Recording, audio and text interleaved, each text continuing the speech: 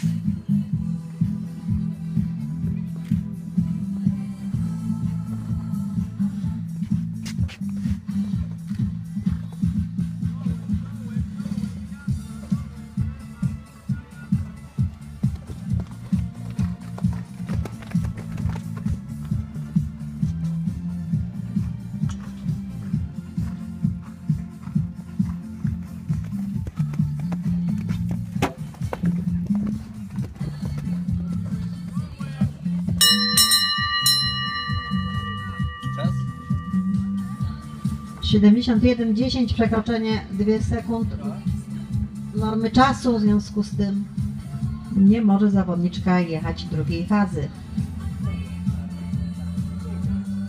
Dobrze, bo się spóźniłem z włączeniem. Jeden punkt.